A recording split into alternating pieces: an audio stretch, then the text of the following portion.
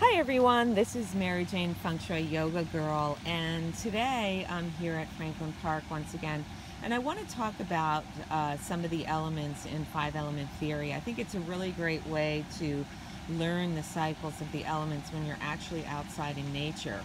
So right here I'm zooming in on tree roots. Okay, so if you can see from this tree here, and I'm just going to ride up here so you can see this tree. All right, so this tree represents wood energy, wood energy, vitality, and growth. It's a columnar shape, so if you, you know, take a look here at the whole trunk of the tree, it's a column-like shape. So when we think about design, then columnar shape bodes really well. And in terms of colors, we think about all of the hues of greens. And so just think about your, your leaves, your foliage that are coming off the branches of your tree or wood energy. Okay, now, if we look at this root system where I started off with right here, do you see how it's uprooting the soil of the earth? In other words, it's pulling up. And so in five element theory, the element of wood and the element of earth are in what we call a Ko-relationship or a destructive relationship. And so the reason that this occurs is because wood energy, uh, if you were to look at its nuclear strand, there's a very much of a linear and uh, in upward and outward kind of flowing of chi. And so if we look at the element of Earth, the way that nuclear strand works, it's, it's very rotational. Okay, just think about our planet on its axis and rotating. So when we combine this upward and outward energy of wood and try and stick it in the rotational energy of Earth, it just doesn't happen. A lot of stress occurs. This is this uprooting, if you will. And so let's bring this into a scenario uh, inside your living space in terms of decor.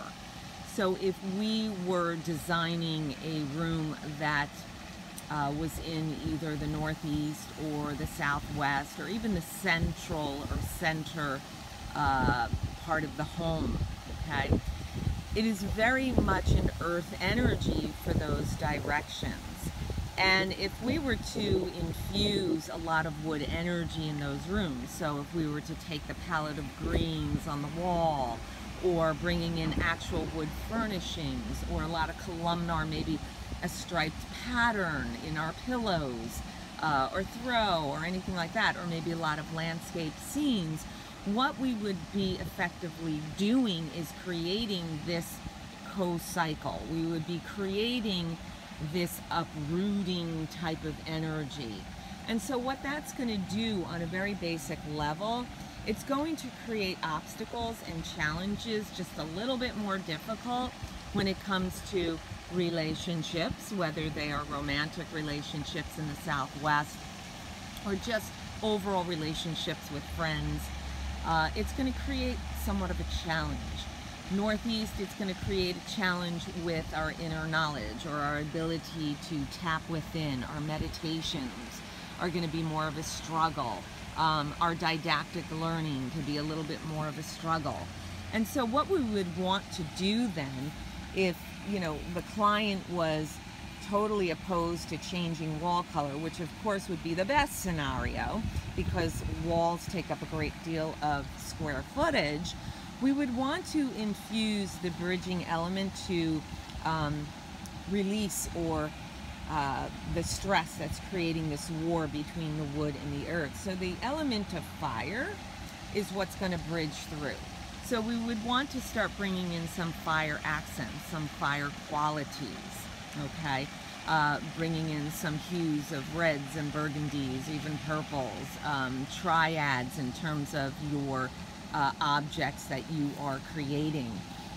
Um, uh, candles, uh, images of animals or people, leather accents, all those things will help then to bring in that bridging element so we can bring then a flow, restore flow, create space in the rotational movement of the earth for the expanding wood energy.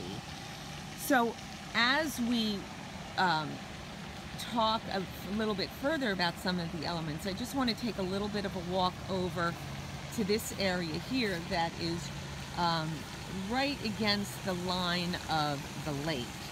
And so what we have here then is a Sheng cycle. We have the element of water that is just kind of flowing right in through here.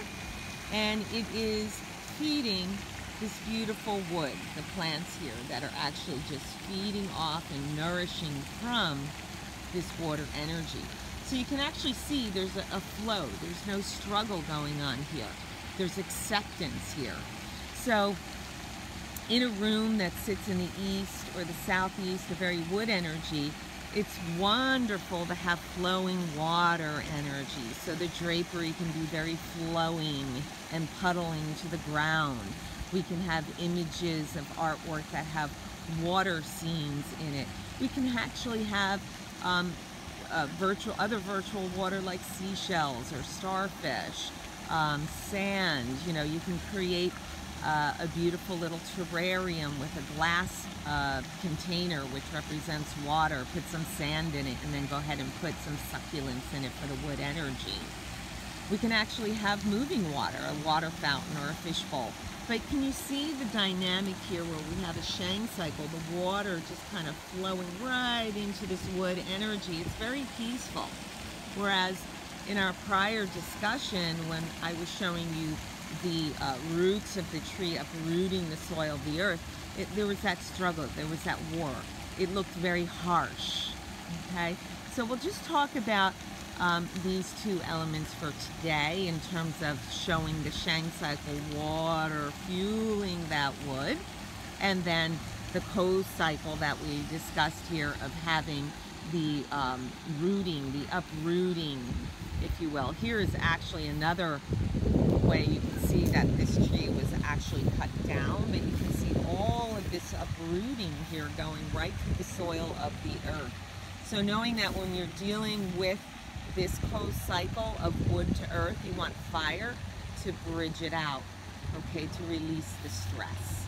And that's going to bode very well. So just remember that your five element theory is extremely powerful when you uh, take into consideration your design in your home. And then of course it's going to have a tremendous impact in your own life. So uh, this area that we talked about, the water flowing in to uh, the wood area, and I looked at east and southeast, we're looking at, you know, the family, the heritage in the east, you know, your elders, uh, and then flowing into southeast, we're talking about uh, our fortunate blessings here. A lot of people want to call that wealth, all right? But it's really whatever you consider a fortunate blessing to be, okay? And so there'll be a tremendous impact. And it's going to impact us on so many levels, even personally. Different members of the family are going to be impacted. Different body organ systems will be impacted. And even in terms of the energy that you display uh, in your own moods and attitudes, you know, when you have the water and the wood flowing beautifully, it's a very strong, flowing, and up uh, upward kind of energy that's happening. Uh, there's a lot of vitality, and so you, you feel kind of bouncing in your step here. It feels really good. So let's let's sign off with that for today. Maybe just working on those uh, uh, areas of water fueling wood, and then looking at a destructive cycle of uh, wood uprooting the earth. This is Mary Jane Kasliner, www.fengshuiyoganj.com.